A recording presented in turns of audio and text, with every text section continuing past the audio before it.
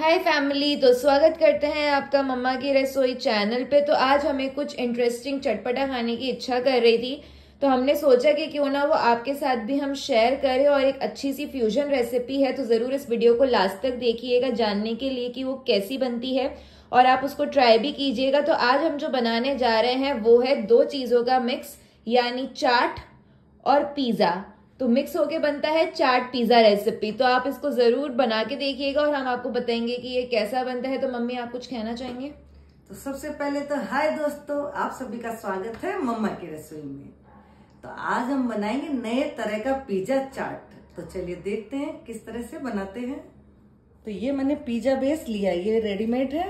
आप घर पे भी बना सकते हो और अगर आपको तुरंत बनाना है तो आप बाज़ार से ला सकते हो। तो अब इसमें डालेंगे सभी बेजीज। आदि मैंने शिमला मिर्च ली है क्योंकि एक बेस के लिए हम तैयार कर रहे हैं। क्वांटिटी आप जो भी सारी वेजिटेबल्स हैं और इसमें जो भी इंग्रेडिएंट्स डल रहे हैं उनको आप अपने अकॉर्डिंग कर सकते हो। आधा मैंने टमाटर लिया है। एक छोटा साइज़ का प्याज है। अगर प्याज नहीं खाना चाहते हो तो प्याज को स्कीप कर सकते हो। आप घर में बना रहे हो तो अगर प्याज लहसुन जो भी आप नहीं खाते हो तो उसे स्कीप कर सकते हो। हरा धनिया डाल देंगे इसमें। ये बूंदी है, नमकीन बूंदी, सादा बूंदी भी डाल सकते हो और नमकीन बूंदी भी डाल सकते हो। थोड़ी सी हमने बीकाजी नमकीन ली है। ये मठरी को मैंने क्रश कर लिया है। थोड़ा सा हम इसमें एक चम्मच करीबन केचप डालेंगे। एक चम्मच हरे धनिया की चटनी। चाट मसाला डालेंगे तो वन फोर्थ चम्मच करीबन चाट मसाला। और इन सबको हम मिक्स कर लेंगे। तो आपने भी इस तरह से बना के देखा है क्या? कभी पिज्जा बाज़ार में तो ऐसा मिलता नहीं होगा शायद। तो आप घर पे तो बना के खा ही सकते हो और ये काफ़ी अच्छा लगता है। काफ़ी लोगों के लिए तो सिर्फ़ यही मिक्स रेडी किया और यही ये उनके लिए चाट रेडी हो गई है हाँ। लेकिन हम इसको और थोड़ा सा आगे कैरी फॉरवर्ड कर रहे हैं। कुछ नए इंटरेस्टिंग स्टाइल का। और ये आप एक तरीके से पार्टी एपेटाइजर के रूप में भी इसको तैयार कर सकते हैं कि आपने स्टार्टर्स के रूप में अपने गेस्ट को ये सर्व कर दिया। और मैं ओटीजी में तैयार करूँगी इसे आप कढ़ाई में भी बेक कर सकते हो और बाटी वाले ओवन में भी कर सकते हो। तो अब बेस पे हम टॉपिंग कर लेते हैं। या तो आप पिज्जा सॉस भी लगा सकते हो। और अगर आपके पास पिज्जा सॉस नहीं हो तो ये एक चम्मच केचप और एक चम्मच हरी चटनी। इनको मिक्स कर लेंगे। वैसे तो हम इसको एकदम इंडियन स्टाइल में बना रहे हैं, इसलिए हम कुछ भी इसमें एक्स्ट्रा ऑर्डनरी यूज़ नहीं कर रहे, इसलिए हमने इसमें पिज्जा सॉस स्किप किया है। इसलिए हम इसमें चटनी और कैचअप ही यूज़ कर रहे हैं। अब इसको हम लगाने के बाद इस पे हम थोड़ी सी डाल देंगे मोजरेला चीज़ मोजरेला चीज़ आप अपने अकॉर्डिंग कम ज़्यादा कर सकते हैं जिनको ज़्यादा पसंद है वो ज़्यादा क्वांटिटी और जिनको कम पसंद है वो कम क्वांटिटी और नहीं खा सकते तो इसकी इसके भी कर सकते हैं। ये घर में अपनी चॉइस होती है। अब इसमें जो हमने चाट बनाई है इसे रख देंगे। कोई आप इसी तरह भी खा सकते हो इसको। तो और आप ये नहीं कि पिज्जा आप जैसे रोटी मोटी बना के भी आप बना सकते हो। हेल्दी बनाना चाहते हो तो गेहूँ के आटे का आप बना लीजिए पिज्जा और फिर बना ले।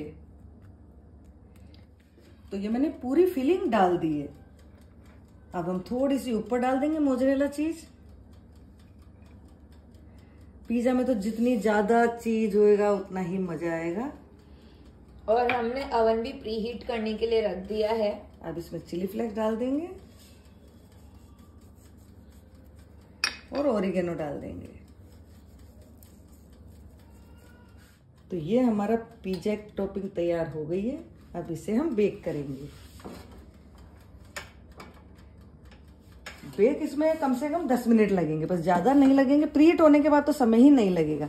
तो चीज़ मेल्ट होएगी तब तक इसे हमें बेक करना है। 180 डिग्री सेल्सियस पे 10 मिनट के लिए कर लो। हम जब तक कि चीज़ मेल्ट नहीं हो जाती तब तक हम इसको बेक करेंगे। चीज़ मेल्ट हो गई है और बेक भी हो गया है। अच्छी तरह क्रिस्पी हो गया है। अब इसे हम निकाल लेंगे। तो देखिए कितना अच्छा बना है। दिखने में ही सुंदर दिख रहा है खाने में तो अच्छा होगा ही। अब इसे हम कट कर लेंगे। कट करने में ही इसकी क्रिस्पीनेस का पता चल रहा है। जो बाज़ार के मंगाते हैं ना उसमें तो बिल्कुल भी टॉपिंग ही नहीं आती। तो मुझे तो बाज़ार वाला में मज़ा ही नहीं आता पता नहीं क्यों। और हमको बाज़ार के ही अच्छे लगते हैं। देखिए कितनी क्रिस्पी सीखा है। एक पीस उठा के दिखा देते हैं। वाह तो देखिए कितना लाजवाब दिख रहा है ये। खाने की इच्छा हो रही है देखते।